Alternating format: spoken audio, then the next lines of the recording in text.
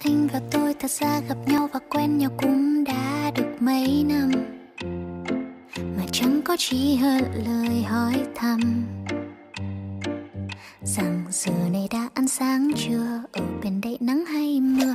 Anh và tôi thật ra uh-huh, mãi mê nhìn lén nhau.